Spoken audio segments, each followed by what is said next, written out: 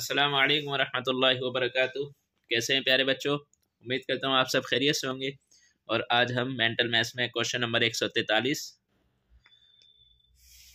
करेंगे और उससे आगे भी करेंगे। पेज नंबर एक सौ पेज नंबर बाईस पर है। क्वेश्चन नंबर एक सौ तैतालीस है।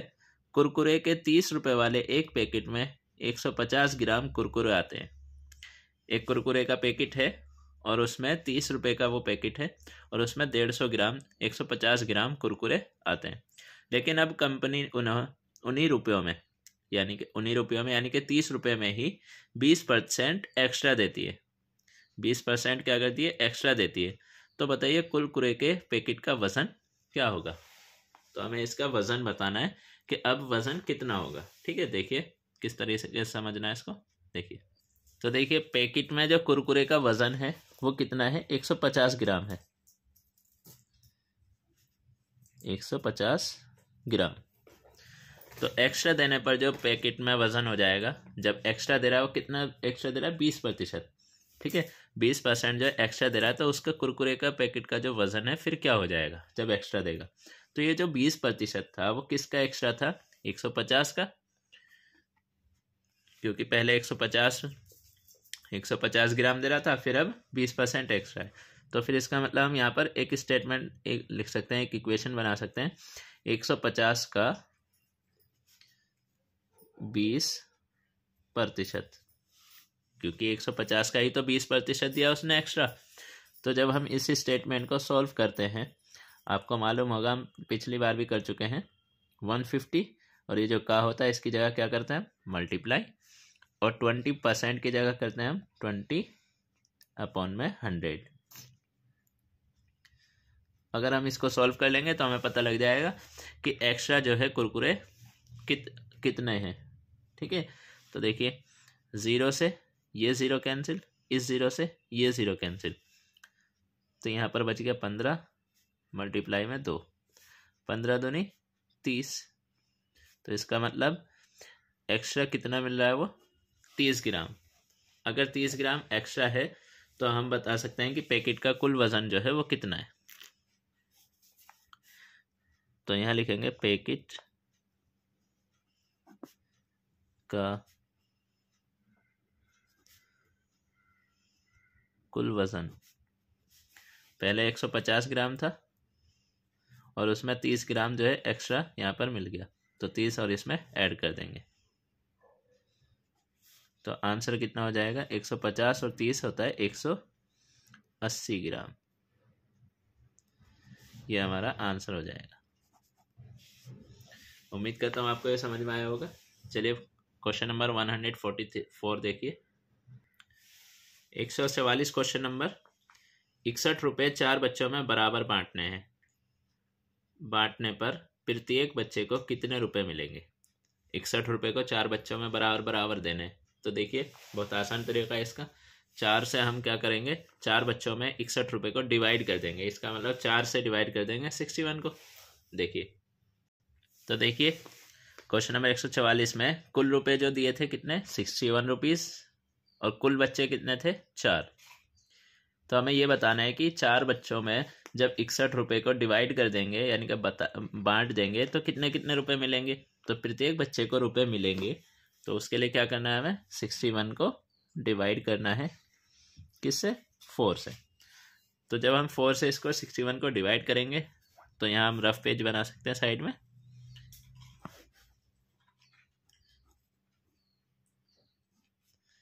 Sixty one. तो सिक्स के लिए टेबल पढ़ेंगे फोर वन ज़ा फोर फिर माइनस करेंगे। सिक्स में फोर के टू बच जाएँगे। वन ऊपर से नीचे आ जाएगा। ठीक है? अब फोर फाइव ज़ा ट्वेंटी माइनस करने पर फिर वन बच जाएगा। और जब डिवाइड ऊपर से नंबर ख़त्म हो जाते हैं तो हम क्या करते हैं, ऊपर एक पॉइंट लगा देते हैं। पॉइंट के बदले में हमें क्या मिलता है यहाँ पर? एक ज़ीरो मिलता है। और ज़ीरो जो है, इसके साथ लग जाता है। फोर टू सा एट माइनस करेंगे, टू बच जाएगा।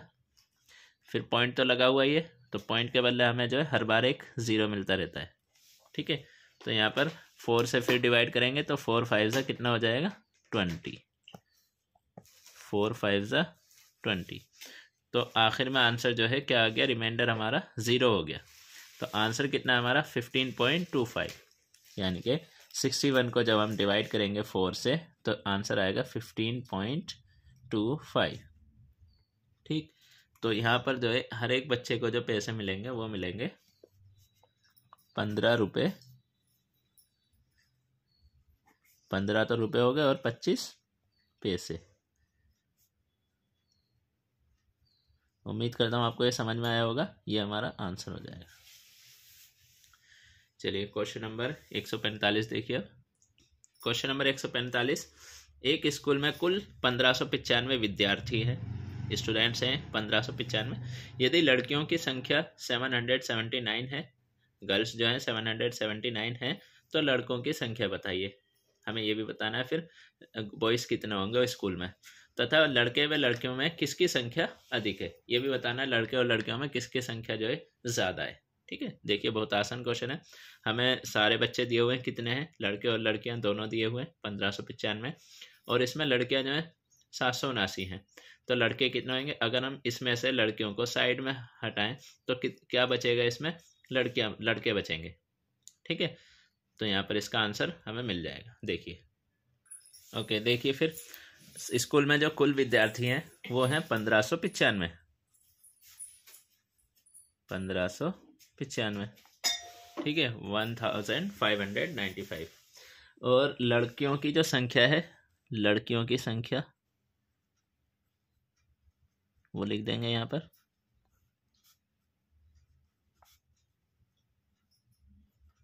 लड़कियों की संख्या।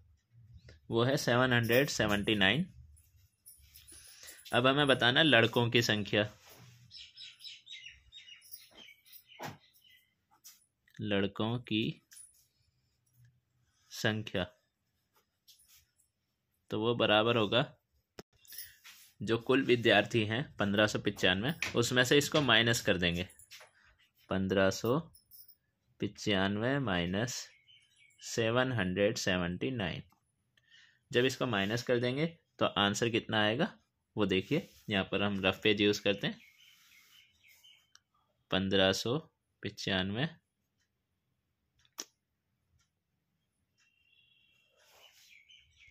पंद्रह सौ पचानवे में seven hundred seventy nine minus करेंगे तो फाइव में से नाइन जाएँगे नहीं तो एक इधर से ले लेंगे, ये हो जाएगा fifteen fifteen minus nine six यहाँ पर एट बच जाएगा क्योंकि एक इसको दे दिया था तो आठ में से सात गए, एक बचेगा।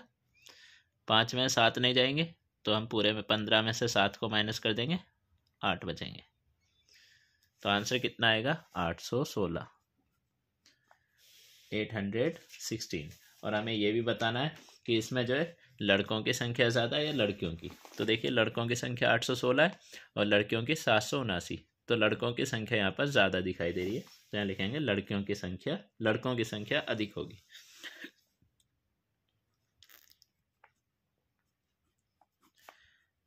लड़कों की संख्या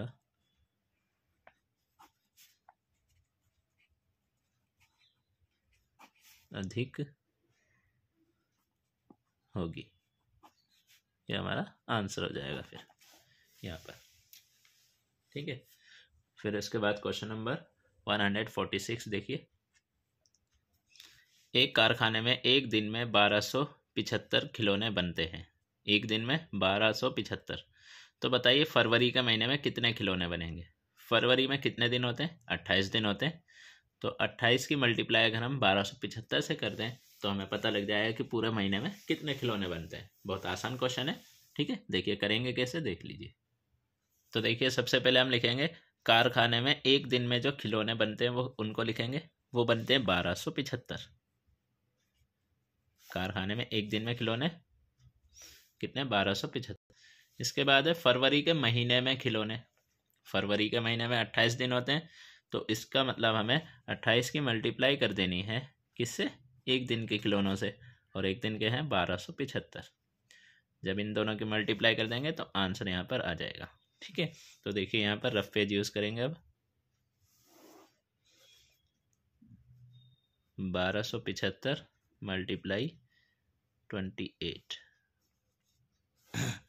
eight five ज़ा फोर्टी ज़ीरो हासिल चार आ जाएगा।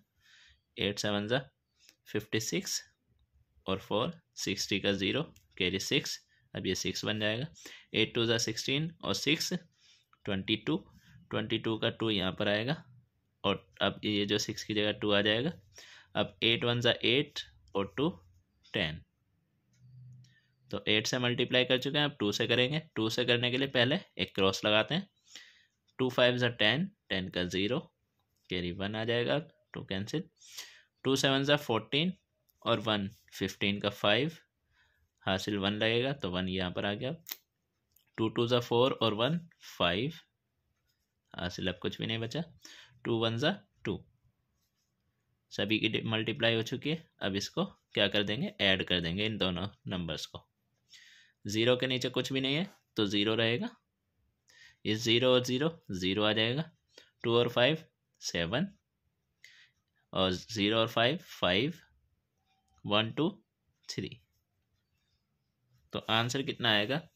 Three hundred thirty five thousand seven hundred. यह हमारा आंसर होगा। उम्मीद करता हूँ आपको ये समझ में आया होगा। आप भी इसको जो अपनी कॉपी में अच्छी सी राइटिंग में लिखेंगे और इसको समझेंगे। अस्सलाम वालेकुम